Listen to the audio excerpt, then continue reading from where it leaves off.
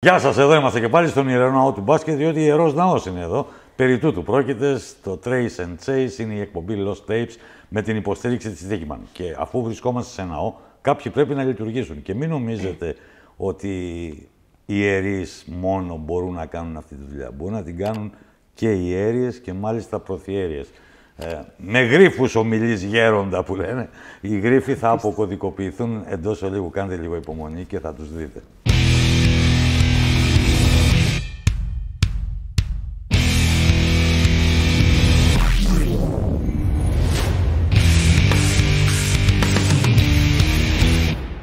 Λοιπόν, εάν δεν με βάραγε ο σκηνοθέτης μου, θα σηκωνόμουν και σε ένδειξη αυροφροσύνη θα σας έκανα ένα χειροφίλημα. Σας έχουν κάνει ποτέ χειροφίλημα, κυρία Μάλτσι και κυρία Κωστάκη; Ε, ναι. Ε, ναι. Αλλά δεν μας έχετε κάνει εσείς, κύριε Σκουντή. Επιφυλάσσομαι. Έτσι, Λοιπόν, λόγω COVID. ε, Θα το Σωστό. αποφύγω. Σας ευχαριστώ πάρα πολύ. Την Εβίνα Μάλτσι, την Αναστασία Κωστάκη. Εμείς ευχαριστούμε. Είναι μεγάλη χαρά, είναι πολύ μεγάλη τιμή. Ε, πρώτα απ' όλα, ξέρει, όταν σας το έχω πει και στις δύο εκπομπές που έχουμε βρεθεί στο παρελθόν, ότι είναι πάρα πολύ ωραίο να καταπολεμάς με δύο ωραίες γυναίκες τη Βαρβατήλα την Ανδρική. Οπότε, από αυτή την άποψη, αμέσως αμέσως είμαστε καλυμμένοι. Τι χαμπάρια, τι κάνετε τώρα; Τα πάντα όλα. Ευχαριστούμε καταρχάς για την πρόσκληση. Ευχαριστούμε για τη φιλοξενία εδώ σε αυτόν τον υπέροχο ναό, όπως τον αποκάλεσε. Συμφωνώ κι εγώ. Ε, Είναι, είναι πραγματικά ναός. Με χαρά πάντα όταν μας καλείς. Εγώ στο έχω πει πολλές φορές. Ευχαριστούμε πολύ.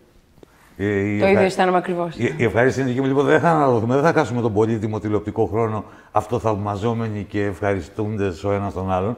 Ε, τι κάνεις τώρα; Ε, απολαμβάνω τη μετά μπάσκετ εποχή. Ε, είμαι φοιτήτρια.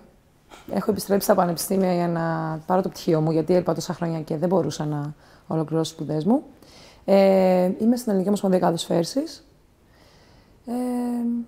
νέα εποχή, νέο ξεκίνημα, το μπάσκετ γυναικών και προσπαθούμε να λειτουργήσουμε για να δουλέψουμε με γρήγορους ρυθμούς για την ανάπτυξη και την πρόθεση του γυναικείου μπάσκετ. Ωραίο ακούγεται αυτό. Ναι. Εσείς, κυρία Κωστάκη; Πολύ μοιάζει. λοιπόν, εγώ... Κάνεις τη και- μαμά με εγώ, επιτυχία. εγώ είμαι μαμά πλέον. Ε, σταμάτησα λίγο νωρίτερα το μπάσκετ την Εβίνα. Ε, έχω τελειώσει τα τεφά, αλλά και εγώ σε αυτή τη φάση, αφού σταμάτησα το μπάσκετ, επειδή σταμάτησα νωρίτερα, οπότε το ολοκλήρωσα, ολοκλήρωσα σπουδές μου πριν δύο χρόνια. Είμαι στην Ομοσπονδία του μπάσκετ και εγώ, ε, Μανούλα, και εγώ απολαμβάνω τη μητρότητα περισσότερο τώρα. Και θα κάνουμε πράγματα για το γυναικείο έτσι με τις αλλαγές που έγιναν. Να Είμαστε μαζί και στην Ομοσπονδία και άλλες κοπέλες του μπάσκετ που Σε, σε δύο κοπέλες που αφιέρωσαν τη ζωή τους στο μπάσκετ.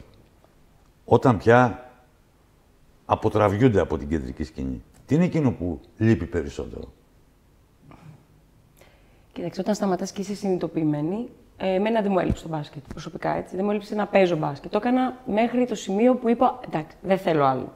Ε, παράλληλα έκανα και παιδάκι εγώ. Δηλαδή έγιναν όλα μαζί. Έπαιξα στην Ελλάδα και το τελείωσα ας πούμε, στο, κεφ- στο μυαλό μου. Ε, γιατί μου είχε μείνει τελικά. Νόμιζα ότι από το εξωτερικό δεν θέλω άλλο, αλλά τελικά ήθελα. Έπαιξα άλλα τρία χρόνια εδώ, πολύ ωραία. Ε, με άλλη έτσι, οπτική το έβλεπα, γνώριζα νέα παιδιά. Παράλληλα, τα είχα παίχτρια στην εθνική ομάδα γιατί ήμουν προπονήτρια παράλληλα. Γιατί έκανα αυτό που κάνει το Εβίνα, το είχα ξεκινήσει από το 2016. Και ήταν φοβερή εμπειρία κι αυτή. Δηλαδή με τα παιδάκια που έπαιζα στην ομάδα μου, μετά τα είχα Ξαφνικά. παίχ- Ναι, τα είχα παίχτριες. Ήταν πολύ ωραίο. Ε, ε, μετά έγινα μανούλα και δεν μου έχει λείψει εμένα το μπάσκετ καθόλου να παίζω έτσι. Δηλαδή το έκανα τελείωσε όταν ήμουν πια, δηλαδή δεν ήθελα να παίξω άλλο. Δεν μου λείπει. Το να έχεις παίξει τόσα χρόνια στο εξωτερικό, το να έχει γνωρίσει ξένες χώρες, ξένες κουλτούρες και να έχεις ενσωματωθεί σε αυτές τις διαφορετικές και τις ξένες κοινωνίες. Πόσο δύσκολο κάνει μετά τον επαναπατρισμό και τι, πόσο βίαιη κάνει την προσαρμογή ξανά; Η προσαρμογή είναι βίαιη, θεωρώ, βγαίνοντας από το επαγγελματισμό, δηλαδή το να είσαι επαγγελματίας αθλητής και το επαγγελματίας αθλητής εγώ το, το λέω περισσότερο για τις υποχρεώσεις που έχεις απέναντι σε αυτό που κάνεις, έτσι. Γιατί ο κόσμος ακούει επαγγελματίας αθλητής και πηγαίνει το κεφάλι του, το μυαλό του σε απολαβές, δεν είναι έτσι. Ε, εκεί είναι η πιο δύσκολη και βίαιη προσαρμογή που, στην οποία έρχεσαι, ε, με την οποία έρχεσαι αντιμέτωπο. Ε, το να γυρίσεις στην πατρίδα σου, δεν ξέρω η Άννα πώ το βίωσε. Εγώ σίγουρα μετά από τόσα χρόνια είχα και μια λαχτάρα να γυρίσω Κι πίσω. εγώ. Κι εγώ, κι εγώ. Ε, περνάνε και τα χρόνια, βλέπεις τα πράγματα πολύ διαφορετικά. Δεν είσαι συνέχεια σε αυτόν τον λαγό να γνωρίσω, να γυρίσω, να κάνω. Η ενέργειά σου πέφτει, αρχίζεις, αρχίζεις να είσαι πιο συναισθηματικός με όλα αυτά που σου έχουν λείψει. Για μένα τουλάχιστον. Οπότε ε, ο επαναπατρισμός δεν ήταν δύσκολος. Το να φύγω από το κομμάτι του είμαι μπασκετμπολίστρια ήταν δύσκολο. Και επειδή η, η Αναστασία απάντησε και συμφωνώ μαζί της, ούτε εμένα μου λείπει το μπάσκετ, γιατί έφυγα πραγματικά χορτάτη και ευγνώμων. Και εκεί είναι τελεία για μένα. Μου λείπει όμως ο ελεύθερος χρόνος που είχα όταν έπαιζα. Που τον έκανε και πιο ποιοτικό σε σχέση με τώρα, που τρέχουμε πανικόβλητοι όλοι και. Βασικά τελειώνει η εποχή που είσαι λίγο παιδάκι παίζεις και μετά είναι, νιώθω ότι μετά έχεις όλο άγχος, παιδί μου. Καλά, μα γίνεις και μαμά. Πολύ. Πολύ. Οπότε και αυτό δεν μπαίνουν μετά, αρχίζουν όλα μαζί. Λες, πω να τρέξω να πρόλαβω αυτό εκείνο. Ενώ με το μπάσκετ έχεις πρόγραμμα, ξέρεις, προπόνηση, θα πάω σπίτι μου να έχω. Πιο χαλαρά, ναι, μια και ναι, είμαστε Θεσσαλονίκη, πιο χαλαρά. Άγχος για τον αγώνα, για όλα αυτά που έπρεπε να είσαι σωστή, έπρεπε να είσαι καλή, να παίζεις καλά για να έχεις και συμβόλαιο και τον άλλο χρόνο. Αλλά εντάξει. Ήταν διαφορετικά. Ήταν, ένα, ε, ήταν παιδί, σαν να ήσουν ένα παιδί πάντα. Εγώ έτσι. Είχες λιγότερα. Ενώ υπήρχε πολύ μεγάλη πίεση. Ναι, άλλου είδους όμως. Έχεις ναι, ναι. λιγότερες ευθύνες στο κεφάλι σου. Ναι. Γιατί είμαστε όλοι σε ένα προστατευμένο περιβάλλον. Οι άνθρωποι που είναι, ας πούμε, οι παράγοντες μιας ομάδας στην οποία ναι, βρίσκεσαι, ναι, ναι, αναλαμβάνουν ένα πολύ μεγάλο κομμάτι από αυτά που. Και είσαι συγκεκριμένο στο Τρέχουν για σένα, αλλά εσύ δεν το αντιλαμβάνεσαι. Ε, όταν βγαίνει λοιπόν από αυτό και δεν τρέχει κανένας άλλο για σένα. Ναι, από αυτό το κέλυφος. Πρέπει να πας ναι. εσύ σε όλα αυτά που τρέχουν για σένα χωρίς εσένα. Έχει απόλυτο δίκιο. Μήπως να φύγω να τα λέτε μόνος Όχι, το έχω περάσει πολύ καιρό. Ξέρεις πόσο έρχονται μου κάνετε τη δουλειά; Έχει δίκιο η Εβίνα. Αλλά εγώ όταν γύρισα στην Ελλάδα ήταν το 2013. Και αυτό που λέει τώρα το ζει τώρα η Εβίνα. Έχεις απόλυτο δίκιο. Εγώ τα πρώτα δύο χρόνια έλεγα Θεέ μου, τι ζω. Όχι, το ξεπέρασα αυτό. Λίγο ακόμα θα σου πάρει ένα χρόνο. Όλα ξεπερνάει. Δεν το αντιμετωπίζω. Ναι, αλλά έχεις δίκιο. Ναι, ναι, έχει δίκιο. Έχει δίκιο. Εγώ αυτό το. Ναι, ναι, ναι. Έχει δίκιο τώρα. Είναι, εγώ με πολλά χρόνια που έχω σταματήσει από το εξωτερικό έτσι. Καμία ναι. σχέση. Έχει δίκιο. Ναι, είναι πιο πρόσφατο. Πολύ πιο πρόσφατο.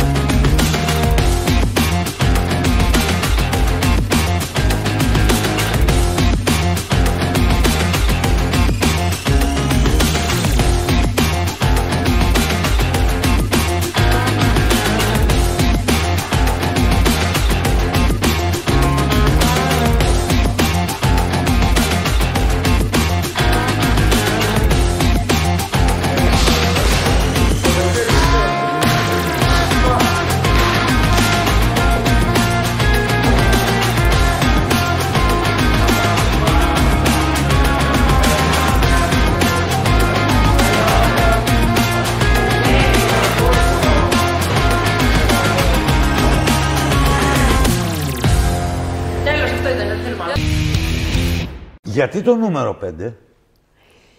Αφήνει βαρέλα της εθνικής ομάδας. Ναι, ναι, ναι. Το 5, λοιπόν, πρώτον, εγώ έπαιξα μπάσκετ λόγω, λόγω Νίκου Γκάλη, όπως η γενιά μου όλη, έτσι, το 87. Αλλά στην ομάδα που ξεκίνησα, στο Δασάλ πλέον, ε, η αγαπημένη μου φίλη, θα πω και το όνομά της Ματίνα, προ, ήταν μεγαλύτερη από μένα χρόνο. Και πρόλαβα να Λέει Μογκάλης εγώ. Σου λέω γιατί, εγώ θέλω να. Όχι, μου λέει Μογκάλης εγώ. εντάξει, θα είμαι ο Γιαννάκη που τον αγαπώ και αυτόν πάρα πολύ. Και έγινε ο Γιαννάκη. το 5. Πολύ αγάπησα αυτό το νούμερο από την αρχή. Ήταν το 6 και το 5 ήμασταν οι δυο, ήμασταν κολλητές τα δύο κοντά της ομάδας. Και μετά το, το νούμερο μου τέλος. Τι έχει αυτή η φανέλα από μέσα; Τι συμβολίζει αυτή η φανέλα. Τι συμβολίζει. Ναι, που τη φόρεσε και την ίδρωσες 152 φορές. Εντάξει, τώρα με πας πολύ πίσω. Είναι, είναι η, η, πιο αγαπημένη μου χρονιά το 4. Πρώτα απ' όλα είναι, η φανέλα των Ολυμπιακών Αγώνων. Ναι, ναι, ναι, είναι Ολυμπιακοί Αγώνες. Δεν υπάρχει. Το πιο top ό,τι έχω κάνει ζωή μου είναι αυτό, αυτή τη στιγμή.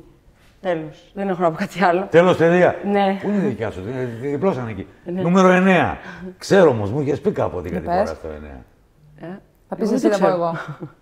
Εσύ θα το πεις. Εγώ είμαι σχεδόν βέβαιος ότι ξέρω για ποιο λόγο φορούσε. Jordan, Η μοναδική 1992, εμφάνισή του με την Dream Dream, Dream Team. Την εποχή Σωστά. που τα νούμερα ήταν ε, στην Ευρώπη από το 4 μέχρι το 15. Ναι, οπότε... ωραία, ωραίες εποχές. οπότε- Και το ποδόσφαιρο που εσύ το ξέρεις λόγω Ναι, ναι, βλάχου. ναι. Ήταν από το 1 έως το 11.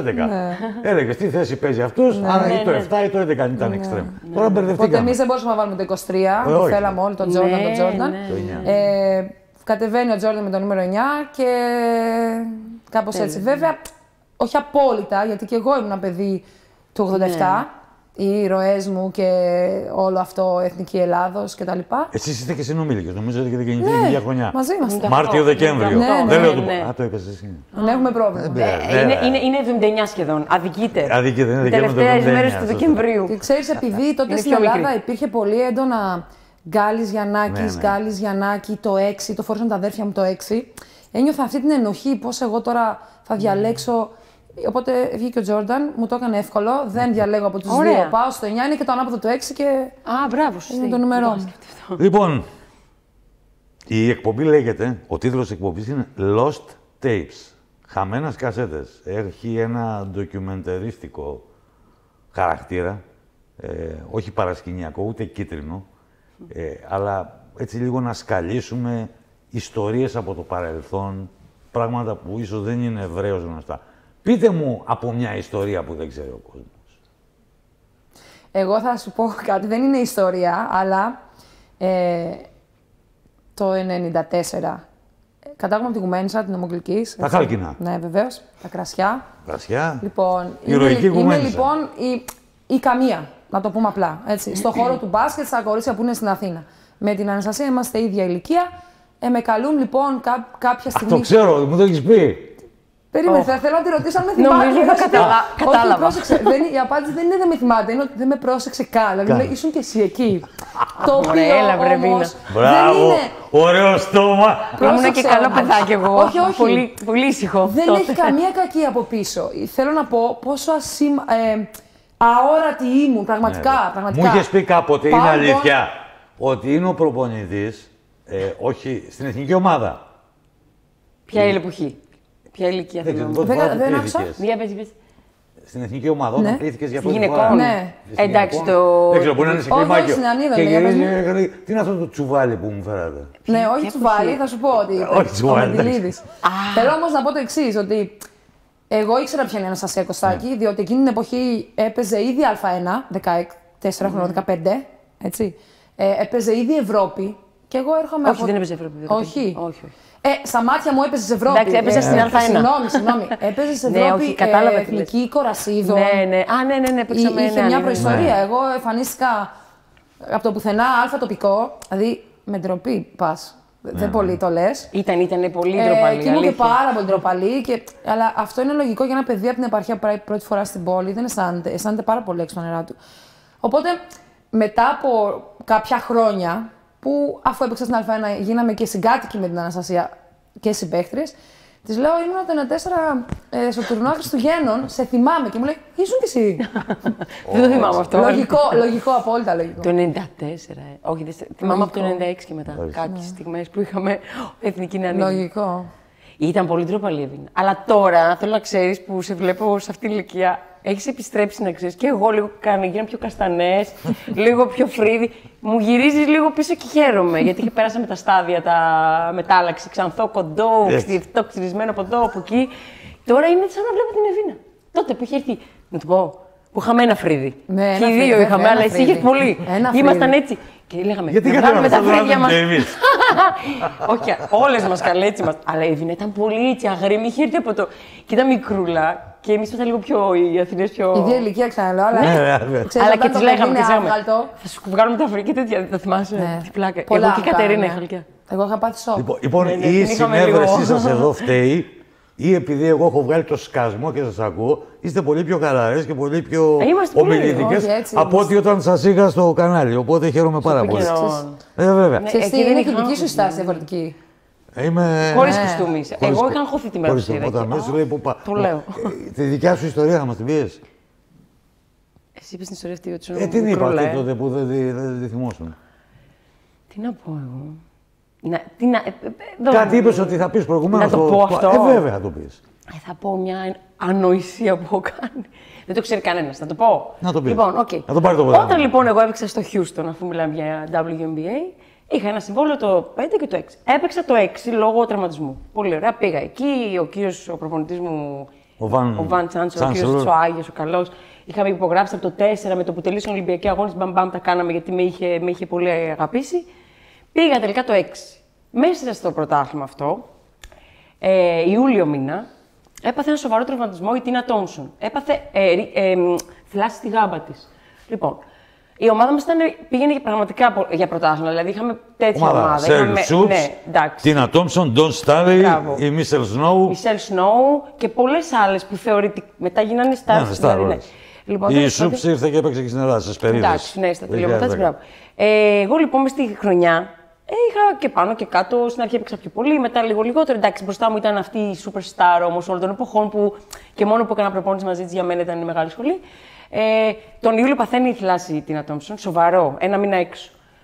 Έχει τον προπονητής, γιατί είχα πολύ σεβασμό προς το πρόσωπό μου. Πραγματικά, δηλαδή ο άνθρωπος ήταν ε, πολύ καλός. Μου λέει: Έχω μιλήσει με τον μάνατζερ σου και υπάρχει ένα ενδεχόμενο, αν συμφωνείς, γιατί είχα γαραντή συμβόλαιο διαιτές. Εγώ κλειστό, δεν υπήρχε πώ να κοπώ. Να φύγω δηλαδή από την ομάδα. Μου λέει: Θα θέλαμε να κάνουμε ένα trade, γιατί έχουμε ανάγκη από το τεσάρι αυτή τη στιγμή. Θα, δηλαδή πάμε στα playoff και έχουμε πρόβλημα. Έχουν πρόβλημα. Εγώ τότε είχα προ- προσαρμοστεί επιτέλους, γιατί το Μάιο που πήγα είχα φάει και λίγο bullying, το λέω. Είχα, αγχωθ- είχα περάσει στάδια, έτσι. Και ένιωθα πολύ ωραία τον Ιούλιο. Λέω ευτυχώς, τέλεια, επιτέλους. Λέω τι εννοείται, να πάω πού; Μου λέει να πάω στο Detroit. Έχουμε μιλήσει με τον προπονητή, σε θέλει. Και να έρθει τεσάρι, αυτοί έχουν ανάγκη από playmaker. Εγώ το πήρα προσωπικά. Μου λέει δεν είναι θέμα, μου λέει. Ότι δεν σε θέλουμε, δεν μας Πίστεψέ κάνεις, δεν μας, μας- Ναι. Εμείς αγαπάμε, εμείς είμαστε τέλειοι, έχουμε τέλεια συνεργασία. Παίρνω το μάνατζερ μου, εγώ λέω τι; Τέλος πάντων, μην τα πολυλογώ, θα είχα πάρει δαχτυλίδι, έτσι. Ναι, ναι. Αυτά. Αυτό ήθελα να πω, δεν το ξέρει κανείς. Τελειώνει η χρονιά, φεύγουμε. χα- α, Έχουμε αποκλειστεί από τα playoffs γιατί δεν πήγε καλά τελικά και η ομάδα είχαμε θέματα. Και παίρνει το πρωτάθλημα αυτή η ομάδα. Αυτά. Πάμε τώρα να συναντήσουμε τη Ζωή Δημητράκου, να ανασκαλέψουμε τις δικές της μνήμες από εκείνη την εποχή, πριν από πέντε χρόνια, που είχε την ευκαιρία να αγωνιστεί στο WNBA και να γνωρίσει κιόλας αυτές τις πολύ διάζουσες συνθήκες του Αμερικανικού Πρωταθλήματος Γυναικών. Ζωή, καλησπέρα. Σε ευχαριστώ πάρα πολύ που είσαι μαζί μας. Καλησπέρα, Βασίλη. Ε, είμαι πάρα πολύ χαρούμενη που μιλάμε. Δεν έχει τύχει να ξαναβρεθούμε και να μιλήσουμε έτσι διαζώσεις και είμαι πάρα πολύ χαρούμενη. Μακάρι να μπορούσα να βρίσκομαι εκεί κοντά σου. Το, το ξέρω, η επιθυμία είναι αμοιβαία. Παρ' όλα αυτά βοηθάει η τεχνολογία. Εσύ το ξέρεις πολύ καλά κιόλας, γιατί τον τελευταίο καιρό, ανάμεσα στα πολλά ωραία πράγματα και ενδιαφέροντα που κάνεις, είναι να γυμνάζεις τον κόσμο και από το σπίτι. Αυτό το έκανα, είναι η αλήθεια και ήταν ε, κάτι που μου άρεσε πάρα πολύ, διότι αν φανταστείς ότι σηκώθηκαν άνθρωποι οι οποίοι δεν είχαν γυμναστεί ποτέ στη ζωή τους, Βασίλη, σηκώθηκαν από τον καναπέ και έκαναν και ακόμα μέχρι και σήμερα βλέπω στον δρόμο ανθρώπους που μου λένε μας άλλαξες στη ζωή. Πραγματικά είναι κάτι που μου έδωσε η τηλεόραση, ένα βήμα που το χάρηκα πολύ και βοήθησε ανθρώπους. Ε, την καριέρα σου την τωρινή και αυτή που είναι εκτός παιδιάς, ενώ τα καλυστία, η τηλεόραση, η γυμναστική, πόσο βοηθήθηκαν από τα σημαντικά πράγματα που έχεις κάνει νωρίτερα εντός παιδιάς στο μπάσκετ; Κοίταξε, ε, αυτό θα στο πούνε και όλοι όσοι έχουν φτάσει σε κάποιο επίπεδο EuroLeague και NBA, WNBA, ότι ο αθλητισμός γενικότερα ε, βοήθησε στο χαρακτήρα τους, ε, έχει κάνει shaping το χαρακτήρα μας, έτσι, έχει δώσει αυτή την αυτοπεποίθηση, γιατί όταν εμ, μπορείς και βάζεις στόχους και τους πετυχαίνεις, έχεις μετά και αυτή την αυτοπεποίθηση που λες ότι ξέρεις κάτι, ό,τι και να προσπαθήσω να κάνω μετά, θα το καταφέρω. Ξέρω ότι η συνταγή είναι σκληρή δουλειά. Το ξέρεις και εσύ άλλωστε. Σωστό. Πώς προέκυψε, ε, για να γυρίσουμε σε εκείνη την εμπειρία που ε, δε- ήταν βραχίας διαρκείας, ε, ήταν μικρή, αλλά φ- νομίζω ότι, φαντάζομαι, για να μην πω ότι είμαι σίγουρος, ότι ε, σε έχει σημαδέψει. Πώς προέκυψε τότε το WNBA και η Washington Mystics το 2016? Λοιπόν, εγώ έπαιζα στην Κάισερη στην Τουρκία ε, σε μια ομάδα EuroLeague ε, με την οποία πηγαίναμε πολύ καλά και είχα καλά στατιστικά, όπως φαντάζομαι πηγαίνουν και οι περισσότεροι που δεν έχουν πάει ως rookies, ε, από, δηλαδή από το πανεπιστήμιο εκεί. είχα γύρω στους 16 πόντους μέσω όρο στη EuroLeague που είναι αρκετά καλό. Έτσι ήρθε ο, ο προπονητής των Washington Mystics, με είδες σε έναν-δύο αγώνες, του άρεσα, έτσι με πήραν στο WNBA ε, και όσον αφορά τώρα για το λίγο χρονικό διάστημα που έπαιξα εκεί, κάτι που δεν το γνωρίζει ο κόσμος είναι ότι εγώ γενικότερα είχα πρόβλημα με τα γόνατά μου, όπως και αρκετοί παίχτες και παίχτριες. Λοιπόν, και χτύπησα σε μια φάση και ενώ χρειαζόταν να κάνω ε, κάποιες θεραπείες και ξεκούραση για κάποιο χρονικό διάστημα, ε, εκεί ο προπονητής και το staff ήθελαν να μου κάνουν ε, κορτιζόνης, ενέσεις κορτιζόνης. Κάτι που καταλαβαίνεις ότι μετά ίσως να μην μπορούσα να ξαναπαίξω ή να είχα πρόβλημα πραγματικά με το γόνατό μου για την υπόλοιπη, ε, για την υπόλοιπη ζωή μου. Άρα έτσι δεν, δεν συνέχισα. Ζωή από αυτά τα δύο μάτς, τα 11 λεπτά, τους τρεις πόντους, το ένα rebound, τη μία sit σε μια ομάδα του WNBA μαζί με την Emma Μίσεμαν, την Tyler Hill, την Tierra Raffin Pratt, την Αστάσα Cloud, για να θυμηθώ μερικές από τις συμπαίκτριες σου, αν σου ζητούσα να αποτυπώσεις μια εικόνα, να, να ξεπαγώσεις μια εικόνα, ποια θα ήταν από, από όλη αυτή την εμπειρία; Να ξεπαγώσω μία εικόνα, ε, μου ζητάς δύσκολα. Ε, γιατί όλη η εμπειρία είναι μία εικόνα. Δηλαδή, είναι μία εικόνα πιο γρήγορη, πιο δυνατή, ε, πολύ πιο αλτική. Θέλω να πω ότι όλα είναι στο πολυ θα έλεγα τα πάντα στο WNBA όπως και στο NBA. Αν για το NBA παίζεται πάνω από τη Στεφάνη, το NBA πολύ λίγες φορές παίζεται πάνω από τη Στεφάνη, παίζεται κάτω, ε, κάτω από τη Στεφάνη, άρα δεν είναι τόσο το show ε, που σε συναρπάζει. Γι' αυτό μου αρέσει και η EuroLeague πιο πολύ, να σου πω, ειδικά στις γυναίκες. Ε, αλλά είναι όλα πιο πολύ, πιο δυνατά, πιο γρήγορα, αυτό, αυτό μου μένει περισσότερο από την Αμερική. Αφήνουμε έξω τον τραυματισμό και την, και την κορτιζόνη. Ε, εάν ήσουν αυτή τη στιγμή 20 χρονών, ε, ναι. μοιάζεις νεότερη, για να κάνω και το κομπλιμέντο μου από, από 20 χρονών. Ε, ε, καλά, μην πούμε και, μετά, και πριν από πόσα χρόνια θα ήμουν 20 χρονών. Εντάξει, δεν ήταν και πριν 5. Ε, θα το δοκίμαζες, θα το έπαιρνες πιο σοβαρά; Θα αποτελούσε μεγαλύτερο κίνητρο και δέλεαρ το να το κυνηγήσεις νωρίτερα και να παίξεις; δεν είναι ότι δεν ήταν στόχος μου πιο πριν. Ήταν στόχος μου πιο πριν. Δεν έτυχε διότι εγώ δεν πήγα στο πανεπιστήμιο ε, αν και είχα κάποιες ε, offers, δεν πήγα τελικά. Αποφάσισα να μείνω στην Ελλάδα και μετά να φύγω στο εξωτερικό. Έτσι είναι δύσκολο να σε δουν ε, στο WNBA αν δεν παίζεις EuroLeague. Και μετά έπαιξα μερικά χρόνια EuroLeague και έκανα τα στατιστικά που έπρεπε για να με πάρουν. Αλλά ο στόχος μου ήταν να παίξω στο WNBA. Ε, βεβαίως, αν είχα τη δυνατότητα και πιο πριν, θα το έκανα, εννοείται. Πώς ήταν η ατμόσφαιρα, πώς δέχονται μια κοπέλα ξένη από έναν διαφορετικό κόσμο, από, με ένα διαφορετικό ethic που λένε και οι Αμερικανοί ε, στο WNBA. Κοίταξε, για να βρίσκεσαι εκεί ε, σημαίνει ότι κάτι κάνεις καλά, άρα σε αποδέχονται. Ε, άλλωστε, εγώ όλες τις ε, παίχτριες, σχεδόν όλες, τις γνώριζα από την Ευρώπη, διότι το WNBA είναι τους καλοκαιρινούς μήνες και όλες αυτές καλές παίχτριες έρχονται στην Ευρώπη, παίζουν Euroleague. Είχα συμπαίχτρια. Η συμπαίχτριά μου στην Τουρκία ήταν και η συμπαίχτριά μου στο WNBA. Άρα καταλαβαίνεις ότι δεν είχα κανένα θέμα. Α, γενικότερα δεν το έχω νιώσει αυτό. Δεν το έχω νιώσει αυτό ή τουλάχιστον δεν, δεν το έχω προσέξει εγώ. Εσύ προέρχεσαι από, από αθλητική οικογένεια, από τη μαμά σου και από τον μπαμπά σου.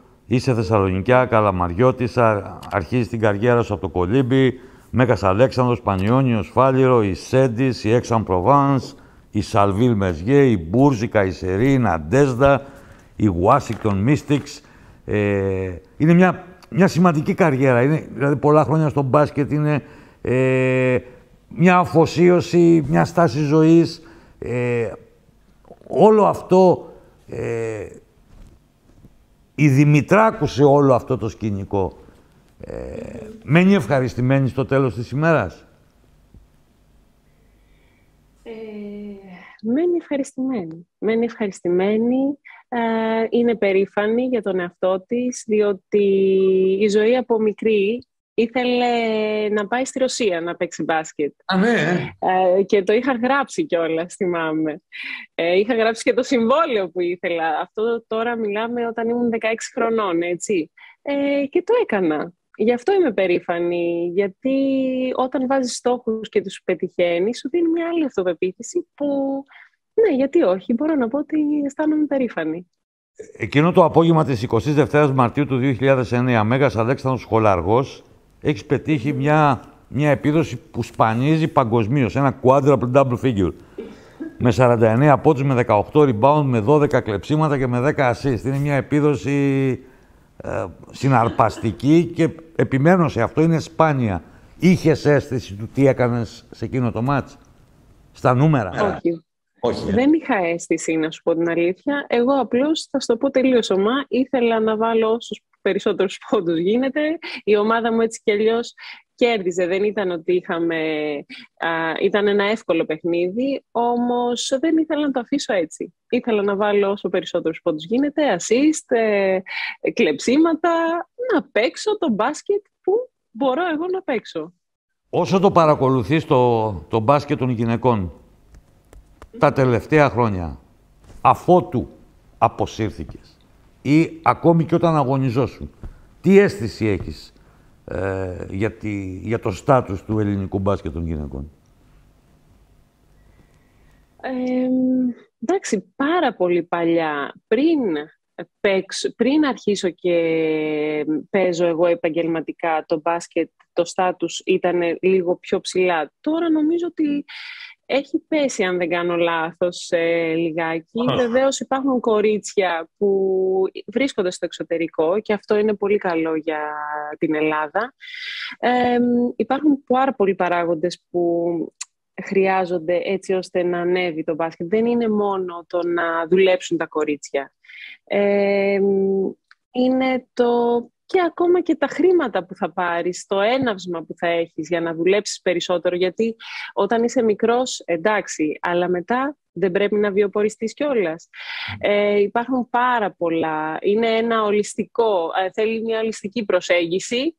Ε, δεν είναι μόνο οι παίχτρες, δεν είναι μόνο οι προπονητές, γιατί μια χαρά παίχτρες έχουμε, μια χαρά προπονητές έχουμε. Ε, χρειάζεται μια ολιστική προσέγγιση, να βοηθήσουμε τις αθλήτριες να βρουν έναυσμα, να δουλέψουν περισσότερο, νομίζω. Τι θα είχες να πεις, τι μήνυμα θα, θα ήθελες να στείλεις στην Εβίνα Μάλτσι και στην Αναστασία Κωστάκη. ένα μήνυμα τώρα που με έκανες να νιώσω κι εγώ ε, με τις ερωτήσεις σου είναι ότι θα τους, ήθελα να τους πω ότι πρέπει να νιώθουν κι αυτές πολύ παρήφανες για τον εαυτό τους γιατί καμιά φορά το ξεχνάμε όλοι οι αθλητές και νομίζω ότι έχουν καταφέρει και αυτές οι δύο οι παίχτριες πάρα πολλά πράγματα και στον αθλητισμό και στη ζωή τους. Η Αναστασία έχει ένα παιδάκι και εγώ έγινα μανούλα. Αυτό είναι το μεγαλύτερο τρίποντο της ζωής μου αυτή τη στιγμή, ο μικρός μου Λεωνίδας. Ε, και Δίνα Μάλτσι που βοηθάει πάρα πολλά παιδάκια τώρα να κάνουν τα όνειρά τους πραγματικότητα στον χώρο του μπάσκετ θα πρέπει να νιώθουν πολύ περήφανες. Σε ευχαριστώ πάρα πολύ. Καλή δύναμη, καλή συνέχεια να κάνεις πάντοτε πράγματα που σου αρέσουν και να συνεχίσεις να τα κάνεις με τόσο κέφι, τέτοια έμπνευση και να τα κάνεις πολύ καλά. Σε ευχαριστώ, Ζωή. Βασίλη, σε ευχαριστώ πολύ και εσύ να συνεχίσεις να μας δίνεις όλες αυτές τις μπασκετικές σου γνώσεις με τον τρόπο το μοναδικό που το κάνεις. Για να πάω στο WNBA, η αλήθεια είναι ότι είχα ήδη μια προϊστορία και στην εθνική ομάδα. Είχα παίξει ήδη τέσσερα πανευρωπαϊκά μέχρι τότε. τρία σίγουρα. Ναι, ναι. Και έχει παίξει στην Ευρώπη σε πολύ Και καλές ήδη ομάδες. έπαιζα στην Ευρώπη, ήδη έπαιζα Ευρωλίγα. Ναι, γιατί εγώ δεν ήθελα να κάνω άλματα και ακόμα δεν θέλω στη ζωή μου να κάνω άλματα. Θέλω να πηγαίνω βήμα-βήμα για να πατάω σταθερά. Για να ξέρω, φροντίζω να ξέρω από πριν ποιες είναι οι αδυναμίες μου, πού μπορώ να φτάσω και προσπαθώ για το καλύτερο. Οπότε για μένα το WNBA ήρθε ουσιαστικά και, και μου επιβεβαίωσε ότι όταν πιστεύεις πολύ σε κάτι και δουλεύεις γι' αυτό, μπορεί να γίνει. Δηλαδή, εκπληρώθηκε ένα τεράστιο άπιαστο όνειρο, γιατί για μένα ήταν άπιαστο. Έλεγα, δεν ξέρω πώς. Ναι, είναι Δεν αλήθεια. ξέρω πώς. Δηλαδή, ναι, έπαιζα Ευρωλίγα, έπαιζα συνέχεια με τις Αμερικανίδες, ε, μετρούσα τις δυνάμεις μου. Αλλά το να γίνεις επιλογή στις 11 μιας ομάδας στην Αμερική με τόσες χιλιάδες παίχτες που είναι υποψήφιες, εντάξει, δεν τόλμουσα να πω ότι εντάξει, το έχω στο τσεπάκι μου. Οπότε ουσιαστικά ε, μου έδωσε αυτό που το κουρβολάω στη ζωή μου. Γενικά, ειλικρινά πιστεύω ακόμα και σήμερα ότι όλα μπορούν να συμβούν αν Ναι, έχεις το θες. μέθοδο, δουλεύεις σκληρά και αφοσιωθείς σε αυτό. Και φυσικά να έχεις και λίγη τύχη, έτσι, γιατί και τραυματισμό. Ναι, γιατί η τύχη παίζει ρόλο πολύ. Αλλά αυτό που μου έδωσε η Αμερική πίσω ήταν ε, ότι είδα το μπάσκετ από όλη την άλλη πλευρά που δεν μπορούσα να δω και μου έδωσε τόση γνώση και εμπειρία για τη συνέχεια. Δηλαδή, εγώ έκανα, πέρασα σε άλλο επίπεδο μετά την Αμερική. Η μαμά μου ήταν πάντα και για την αδερφή μου το ίδιο. Δεν, ήταν, δεν, δεν έκανε wow για τίποτα. Δηλαδή ήταν πολύ προσγειωμένη. Απλά ήθελε να είμαστε καλά. Δεν, ναι, δεν το είχε αυτό. Δεν το είχε. Εμένα πάντα μου έλεγε. Ρε παιδάκι μου, ε, πρόσεχε, μη χτυπήσει. Μόνο αυτό την ένοιαζε. Δεν, είχε, δεν καταλάβαινε τι είχα κα- Δεν μπορούσε να καταλάβει τι κάνω. Και εγώ ήμουν και παιδί ε, που όταν είπα έφυγα από εδώ. Έφυγα, έφυγα. Δηλαδή έπαιρνα και έκανα τηλέφωνο. που και που. Είμαι τέτοιο. Εγώ είμαι, ε, έχω διαφορετική. Αλλά το ξέραν οι γονείς μου. Είχαν τρομερή εμπιστοσύνη. Από πολύ μικρή. Ε, και γι' αυτό τώρα που έγινα δυστυχώς αυτό το. Εγώ, εγώ το περνάω. Το βιώνω πολύ δύσκολα γιατί είναι η πρώτη φορά που θα ένιωθα, από τότε που γέννησα το παιδί, ένιωθα ότι είμαι πολύ κοντά πια με τη μαμά μου. Δηλαδή δεν το είχα από παιδάκι, γιατί έφυγα. Έφευγα, ήμουν ότι φεύγω, να φεύγω, να φεύγω, εγώ το είχα. Και τώρα με το που έκανα το παιδί μου, λέω πόσο πολύ τη μανουλίτσα μου. Δε... Δηλαδή δεν την έπαιρνε από το τηλέφωνο εγώ, ας πούμε. Είχα τέτοια, έλεγα, μάμα καλά είμαι. Όχι, δεν το είχε αυτό η μαμά μου. Εμένα με, έτσι, μας είχε ξεχώριζε. Η μία είναι μοντέλο, η άλλη είναι αθλήτρια. Γελάω γιατί το έχω σημειώμα. 10 Αυγούστου 2019. Είμαι μια γραφική γιαγιά που τρέφεται από αγάπη και αφοσίωση για τον μπάσκετ. Εντάξει, όχι, εγώ προσωπικά που την Δεν το είναι ήξερα. γυναίκα αυτό. Όχι, όχι, εγώ που Το την ήξερα λέει από μια χαρά. μικρή. Έλεγα, έβλεπα τους αγώνες και έλεγα Θεέ μου. Δηλαδή, πώς το κάνει Θα σου αυτό, πω, τα θα έλεγα. σου πω αλήθεια, κάτι τώρα, αλήθεια, γιατί αλήθεια. βγήκε αυτό το είμαι μια γιαγιά. Δηλαδή, είχα κουραστεί να με πλησιάζουν δημοσιογράφοι στον αέρα και να με ρωτάνε πότε θα σταματήσεις. Μήπως είναι. Ε, ναι, καλέ, ώρα αφού να τη βλέπεις ότι σταματήσεις. είναι- Έχω ζητήσει από δημοσιογράφο πριν βγούμε στον αέρα, μη πεις κάτι. Και συγκεκριμένα μετά το μάτς με τη Γαλλία στο Παγκόσμιο του 18, δηλαδή Ναι, ναι, θυμάμαι, έχουμε άλλα πράγματα να πούμε, έτσι. Ε, ναι, για Ήττα, κουραστικά. νίκη, τέλος πάντων, ό,τι και να είναι αυτό. Και, και λέω, μη πεις πάλι, μη με ρωτήσεις το ίδιο πράγμα. Δεν έχω να σου πω κάτι. Και βγαίνουμε στον αέρα και μου κάνει μια. Μήπως ήρθε η ώρα να μας αποκαλύψεις πότε σταματάς. Οπότε. Μας κάνει να θες να στα- να επειδή σταματήσεις Λοιπόν, τελικά. αυτό το καταλαβαίνω γιατί έχω μεγαλώσει στην Ελλάδα και ξέρω την κουλτούρα μας, ξέρω τα στερεότυπά μας, καταλαβαίνω, δεν, κα- δεν το λέω με κακία προς Θεού. Ακόμα και οι δικοί μου με ρωτούσαν πότε θα σταματήσει; ναι. Πώς νιώθεις που είσαι 40 και τις παίρνεις από το χέρι; Οπότε. Ε, Οκ, και έλεγα, όταν ήμασταν λοιπόν με τα κόρτσια, έλεγα Είμαι η μαμά τους, η γιαγιά τους και η προγιαγιά τους. Καταλαβαίνεις, Οπότε. Ε, το είπα Εντάξει, κάπως ναι, έτσι. ναι. Μια γυναίκα πώς χάρη να αγωγεί το πάθος της; Η Εβίνα να απαντήσει αυτό. Είναι Πλάκα παγίδα η ερώτησή σου, έτσι. Είναι από αυτές τις αγαπημένες δικές σου. Κοίτα, τώρα, μόνο το που με ρώτησες, πήγα να πω. Δεν το χάνει να αγωγεί, το εκφράζεις. Αλλά είναι παγίδα και η απάντηση, οπότε θα προσέξω και θα πω ότι ε, βρίσκεις λοιπόν ένα πάθος, όπως είναι το μπάσκετ, ο αθλητισμός, ωραία, ένα υγιές πάθος, το οποίο δεν σε καταστρέφει. Αυτό. Τουλάχιστον πνευματικά. Γιατί σωματικά μπορεί να βρεθούν πάρα πολλοί και να πούν Μα τι μας λέτε τώρα, έχετε καταστρέψει τα πόδια σας, τα χέρια σας.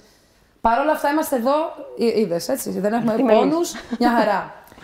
Ε, Βρίσκεις λοιπόν ένα πάθος το οποίο δεν σε καταστρέφει, θεωρώ. Σε κάνει καλύτερο άνθρωπο και το εκφράζεις. Το αφοσιώνεσαι και μέσα από αυτό εξελίσσεσαι, ανα, ε, ε, προοδεύεις, βελτιώνεσαι και μετά αυτό που είπε η Αναστασία και ακολουθώ, προσπαθώ να ακολουθήσω τα χνάρια της, το μεταλαμπαδεύεις. Ναι, αυτό είναι το σημαντικό. Εάν ο James Naismith στις 23 Δεκεμβρίου του 1891 δεν είχε ανακαλύψει το μπάσκετ. Αχ, Δεν το είχε. ναι, ναι, ναι, ναι, ναι, ναι, ναι, ναι, ναι, ναι. Εάν δεν υπήρχε μπάσκετ, Οκ. δεν, δεν το είχε ανακαλύψει κανένας. Εάν δεν υπήρχαν σπορ, γιατί θα μου πείτε κάτι με τα σπορ, τι θα έκανε στη ζωή σου; Εγώ τι θα έκανα. Εάν δεν υπήρχε αυτό. Α, ωραία. Θα είχα κάνει πέντε παιδιά. Θα έχουμε μαμά. δηλαδή. Πολλά, πολλά, πολλά, πολλά παιδιά. Πολλά, πολλά, πολλά. Θα ήθελα πολλά, πολλά. Αυτό. Το είπα. Και μικρή. Οκ. Και μικρή, μικρή, πολύ μικρή. Δεν μπορώ να φανταστώ Ε, είπε να μην τη υπήρχε ζωή μου αθλητισμός. χωρίς σπορ. Ναι, αυτό δεν μπορώ, Εγώ γι' δηλαδή, αυτό το είπα. Αν μου ξέρεις είχες πεις όμως ότι υπήρχε γιατί. άλλο άθλημα, εντάξει, δεν θα σα έλεγα. Ε, σαν παιδί και μέχρι πολύ πρόσφατα, τώρα δεν ισχύει πια, είχα τόση πολλή ενέργεια που δεν ξέρω τι θα Κι έκανα. εγώ, Θα κι εγώ, ανέβαζα κι στα εγώ. ταβάνια. Θα Ναι, ανέβαινα. και εγώ. Πιστεύω. Α, συγγνώμη που θα σε διακόπτω. Αν είχες παιδί, ένα, δύο ή Ναι. τρία, θα την. ε, Παρ' όλα αυτά, Στράβαγε την ενέργεια, μην αγχώνεσαι. που δεν δέχομαι ούτε σαν ε, υπόθεση να μην υπάρχει αθλητισμός. Ε, θα σου κάνω τη χάρη να, να, να το παίξω το σενάριο. Ε, ε, φωτογραφία. Α, ωραία. Φωτογράφος. Εγώ παλιά Σε είχα top πει. Τι level. θα παθανάτιζες; Τι θα σου άρεσε να Τα παθανάτιζες; πάντα. Τοπία, Τα πάντα. ανθρώπους, Τα πάντα. Μ' φάτσες. αρέσει, μ' αρέσει, δηλαδή το κάνω σε. Όχι ερασιτεχνική, ούτε καν. Το κάνω για μένα με το κινητό μου. Ναι. Μπορεί να δω κάτι στο δρόμο και να σταματήσω να το φωτογραφίσω. Μπορεί να είναι κτίριο, μπορεί να είναι πεθαίνω με τα χρώματα του ουρανού όταν αλλάζει Ναι, η ώρα, είτε προς την αυγή, είτε προς το Ιωβασίλεμα. Ή μπορώ να αποθανατήσω κάποιον που στρίβει το τσιγάρο του, ας πούμε. Ή Φωτογράφος. γωνίες προσώ... Δε- δεν έχει για μένα εικόνες. Εικόνες. Και ευτυχώς έχω τόσο τρέλα με τις φωτογραφίες για μένα, που από τα ταξίδια μου έχω συλλέξει αρκετές. Για μένα είναι μνήμες. Δηλαδή, κάθε θυμίζει φωτογραφία, κάτι. Ε, δεν ξέρω αν σας συμβαίνει και εσάς, μόλις τη δεις, έχεις συνέστημα.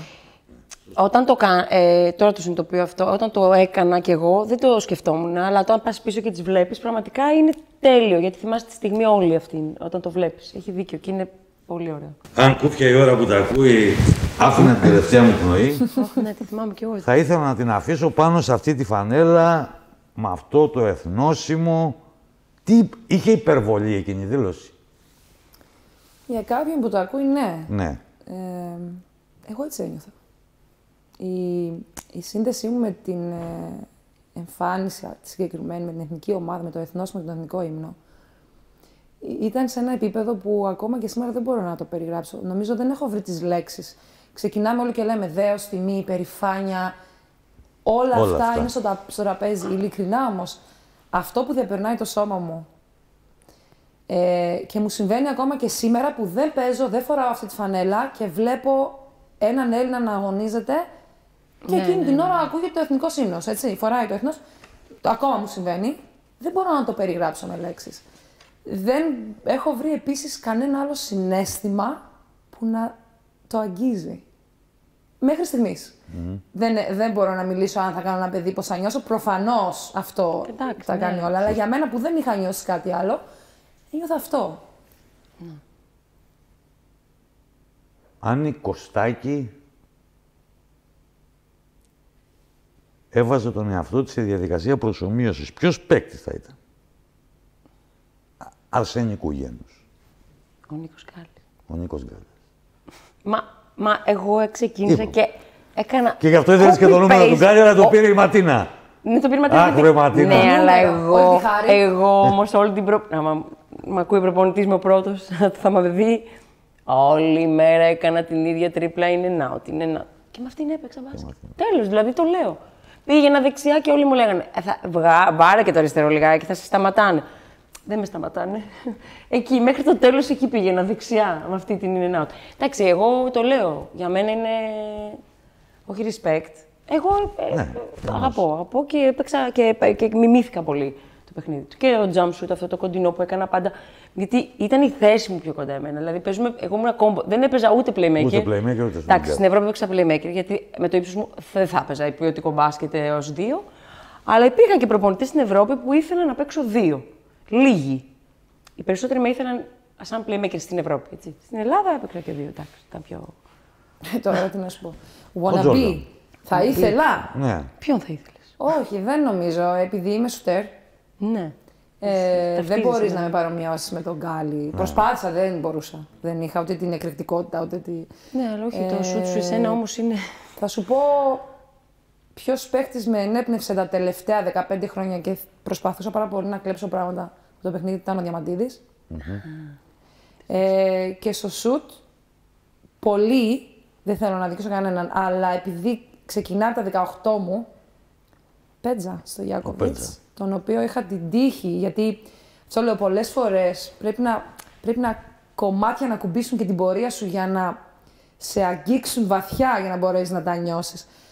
Παίζα, ήμουνα στη Μεντ και ΠΑΟΚ, Άρης, εκείνες τις εποχές χαμός. Πέτζα παίζει στον ΠΑΟΚ. Στον ΠΑΟΚ. Ευρώπη και εκείνη την εποχή κλείνει το Αλεξάνδριο και έρχονται στο γήπεδο της ΜΕΝ να κάνουν τις προπονήσεις τους. Ε, όπως καταλαβαίνετε, είχα τον καλύτερο στέλ της Ευρώπης εκείνη την εποχή, στα Και μάτια αργότερα μου, το καλύτερο στο το NBA. Ε, ναι. στα μάτια μου μπροστά και έβλεπα πώς έκανε προπόνηση. Τότε αυτές τις σκάλες που τους πηγαίναν γύρω-γύρω για να Ναι, ναι, καθαρίζουν, έκανα καλά. τις έβαζε μπροστά τους στο τρίποντο για να σουτάρει με καμπύλη. Με καμπύλη. Εγώ Μετά τότε ήμουν 19 βγήκανε τα χρονών. δίχτυα. Και έπαιρνα μετά αυτή τη σκάλα, την έβαζα βέβαια λίγο πιο μέσα, για να ανεβάσω το καμπύλι μου στο σουτ. Ε, θα ήθελα, δεν είμαι, αλλά Τι εννοεί δεν είναι; ε, θα ήθελα. Θα ήθελα να είναι. Να Wanna be. είμαι Wanna wanna be. be. στο Εννοείται δεν Γιάκοβιτς, είμαστε, αλλά- ναι. Αλλά στο Ε, γυναικείο μπάσκετ το σουτ. ε, δεν θα πω και αφήσετε εγώ, την το- ταπεινοφροσύνη Όχι, όχι, που- να πω την αλήθεια. δεν Ναι. είναι- Όχι, όχι, όχι. Να πω. Α, όχι, Το εγώ... σουτ της κα- Εβίνας Ναι, ναι. δεν. Ε, ε, θα το πω, δεν το λέω. ε, Το λέω το εννοώ. Ε, δεν, εί- δεν, δεν, δεν υπάρχει, δεν υπήρχε στην Ευρώπη δε- τέτοιο σουτ γυναίκας. Όχι, όχι. Να πούμε την αλήθεια. Ευχαριστώ πολύ. Συγγνώμη. Με- Η ταχύτητα εκτέλεσης, από πού σουτάρε, έτσι. Και δεν μπορούσε κανείς να την κόψει στην Εβίνα. Και επίσης το είχε δουλέψει πάρα πολύ, όπως λέει. Έτσι. Ε, το, ε, το σουτ της Εβίνα ήταν. Και έπαιρνε, γιατί αν δεν έπαιρνε. Α, δεν όχι, έπαιρνε. όχι. Ε, εντάξει, δεν θα μπουν όλα. Αλλά συγγνώμη που θα σου το πω, ε, είναι αλήθεια αυτό. Δεν το λέω εγώ τώρα αυτό το πράγμα. Και το εξέλιξες, έτσι. Δεν το συζητώ. Και η αλήθεια Ή- είναι ή- ότι ή πήγες στο με το φτάσε σουτ στο. έκανα καριέρα Ναι. και στην Αμερική. Δηλαδή δεν υπήρχε περίπτωση αν δεν, είχα, αν δεν ήμουν specialist στο σουτ Ναι, γιατί να έχει, πάω. ε, χρειάζονται πολλά Γιατί προσόντα τα να έχεις guard, στο τα NBA. αντίστοιχα Ναι. Ήταν πολύ πιο γρήγορα, πολύ πιο κριτικά, πολύ πιο αλτικά, έτσι. Οπότε Τι θα αφήνατε εν είδη παρακαταθήκης στις επόμενες γενιές; Τι είναι εκείνο που τα κορίτσια τα οποία παίζουν τώρα μπάσκετ, θα σας βάλω όμως σε διαολοτρυπάκι τώρα. Άντε πάλι. Λοιπόν. Ε, μόνο αυτό κάνει. ναι. ε, θα μιλήσεις εσύ για τη Μάλτσι και η Μάλτσι για σένα. Τι της Μάλτσι θα ήθελες Ωραία. να έχουν τα κορίτσια Τα που παίζουν τώρα κορίτσια. μπάσκετ; Της μάλιστα ήθελε αυτό που είπε, το πάθος που είχε για πάρα πολλά χρόνια. Γιατί θα πω ότι εμένα μου έφυγε αυτό. Και γι' αυτό και σταμάτησα πολύ νωρίς κάποια πράγματα. Και τι- από την εθνική ομάδα σταμάτησα σχετικά νωρίς, για προσωπικούς λόγους, αλλά ένιωθα ότι έχω κάνει τον κύκλο μου. Δηλαδή είμαι λίγο διαμαντίδης εγώ. Στο 30 εκεί είπα: Εντάξει, έπαιξα τρία πανευρωπαϊκά, τέσσερα Ολυμπιακοί αγώνες. Θα παίξουν τα πιο νέα παιδιά. Αλλά είχα κουραστεί ψυχο, ψυχικά, θα έλεγα. Δηλαδή με έχει κουράσει τα ταξίδια εμένα πάρα πολύ. Ε, αυτό που είχε η Εβίνα, ε, το πάθος και τη διάρκεια ε, και τον, το ότι έχει βάλει στόχους και πίστευε πάρα, πάρα, πάρα, πάρα πολύ. Αυτό το είχα και εγώ, αλλά η Εβίνα το κάνει για πάρα πολλά χρόνια. Αυτό πρέπει να έχουν τα νέα παιδιά. Δηλαδή αυτό το έχει αποδείξει ε, με τις πράξεις της και με τα αποτελέσματα και όλο αυτό που έκανε και στη δεύτερη δεκαετία που λέω, εγώ πάντα της το λέω, από τα 30 και μετά ήσουν, ήσουν κάτι άλλο, το κάτι άλλο. Και δεν την πρόλαβα κιόλας, γιατί σταμάτησα. Εγώ έπαιξα δύο-τρία μάτια μαζί της, στους δύο πάσει. γιατί το 4, κάναμε μαγικά, έτσι. Εντάξει, δεν λέω. Έκανα, έκανα εκεί στην baseline η τυφλά, τυφλά. Την έπαιρνε την μπάλα. Πώς είχες βάλει 26? Ποιο, περί, ποιο αγώνα. Έβαζε συνέχεια 26 Εβίνα. Η Εβίνα, ε, άμα λες για την Αμερική, Στην είχα βάλει Αμερική, λιγότερα εσύ. πολλά. Εσύ είχες Αλλά βάλει τι 26. βάζει κάθε, σε κάθε Με αγώνα. την Κάτσινγκ απέναντι, το θυμάμαι το μάτς. Λοιπόν, Ε, η Εβίνα έβαζε σε κάθε αγώνα. κάθε αγώνα. Εγώ έβαζα σε κάποιο, Όχι, έβαζα στο εντάξει, άλλο, δεν έδινα είναι έτσι, assist, δεν αλλά. είναι έτσι, εντάξει. Όχι, όχι, ήταν ε, τα πρωταθλήματα και εκεί στους Ολυμπιακούς Αγώνες και οι δύο παίξαμε. Α, ε, τρομερό μπάσκετ, έτσι, αλήθεια είναι αυτή. Και της κυρίας Κωστάκη; Ε, αναμφίβολα αυτό το είναι now δεξί. Δηλαδή, Κα- ε, ε, μου έλεγε πάντα πώς έφτιαξε- Έχει σπάσει ο τραγάδο πραγματικά, δηλαδή θα πρέπει να παίξει μερικά. Ε, εντάξει, η Αναστασία Ήταν και προηγήθηκε. έμφυτο αυτό Θα όμως. σου πω κάτι, η Με ρώτησε Αναστασία, πάντα η Εβίνα για πώς το κάνω, αλλά ήταν ε, και λίγο. Το είχα. Ήταν ανέκαθεν, το ήταν δε- και τώρα είναι, αλλά για ένα παιδί που έρχεται από τη Γουμένσα και την έχει μπροστά της, γιατί την είχα μπροστά μου, έτσι, ήταν η στάρ της ηλικίας μας, της εθνικής μας, ε, τη δυναμικότητά της. Ε, αμφισβητήθηκε όσο κανείς σε κάποια φάση και δεν κατάλαβε τίποτα.